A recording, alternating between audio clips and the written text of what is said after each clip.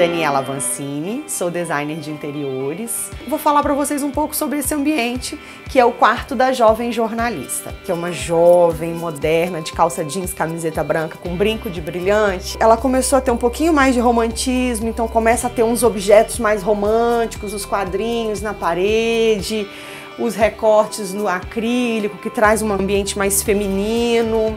Por ser um ambiente muito estreito e comprido, a gente percebeu que tinha um pilar no meio do ambiente, fez a gente repensar o projeto.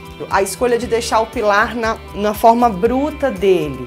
Trabalhamos o closet aberto, que está dentro do conceito da mostra, já que a gente já tinha esse elemento físico aí, a gente usou ele como delimitador do espaço.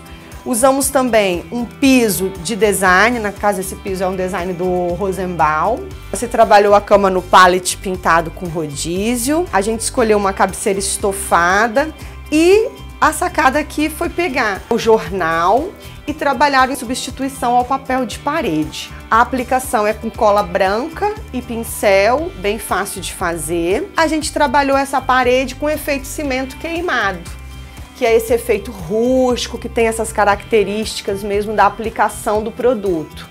Tinha um vitrô aqui, então a gente tira esse vitrô e usa esse nicho para trabalhar as laterais com MDF denteado, que aí eu posso regular a altura das prateleiras e acomodar os adornos ou os livros de acordo com o tamanho. A gente se aproveitou desse pedaço do ambiente, fez uma bancada de estudo a gente criou também um cantinho, que é uma brinquedoteca. Ela se aproveitou de um pedacinho do quarto para criar esse espaço já pensando no crescimento da filha, em conseguir trabalhar, estudar e ficar perto dela.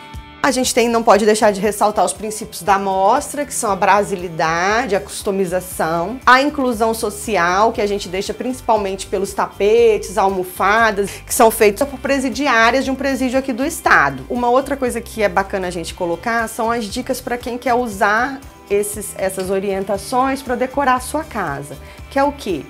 Trabalhar uma paleta de fundo neutra e trabalhar a cor no adorno e nos objetos soltos porque isso te permite mudar com grande facilidade o seu ambiente, mudando apenas essas peças, sem grandes intervenções, sem grandes custos.